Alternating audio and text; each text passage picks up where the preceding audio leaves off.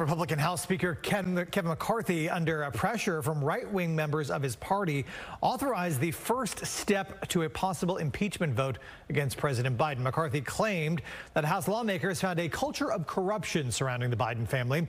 House Republicans have not produced any hard evidence at all that President Biden was improperly involved in his son Hunter's business dealings. Hunter Biden faces criminal indictment, but that investigation also has not implicated the president himself. It is unclear if House House Republicans have the votes to move forward with an impeachment inquiry of the Biden's business dealings. But today, McCarthy directed Republican committee leaders to move in that direction. This logical next step will give our committees the full power to gather all the facts and answers for the American public. That's exactly what we want to know.